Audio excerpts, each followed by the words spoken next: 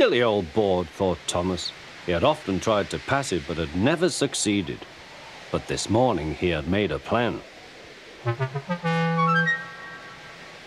The fireman went to turn the points. Now for my plan, thought Thomas. Pumping the trucks fiercely, he jerked his driver off the footplate and followed them into the siding. Come back, yelled his driver.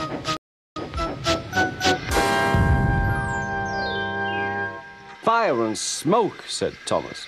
I am sunk.